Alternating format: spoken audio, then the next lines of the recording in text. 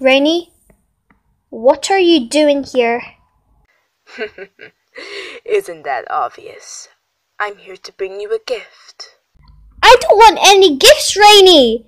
I know you're here to kill me, but I'm gonna kill you first. Okay, okay, mad little wolf. Let's look at this first before you do dumb things. Wolfie, don't do it. I'm not worth it. What do you mean, Rainy? Your wings, Wolfie. Wolfie, don't. Rainy, stop with what you're doing, or you'll regret it.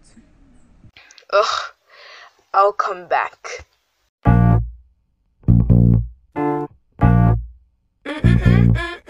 Like Leo in The Revenant, Abel in that Bible bit. Revenge is sweet, isn't it? Really, really hope for it. It won't fix a thing. Song like this that I could sing for you. Mm-mm-mm.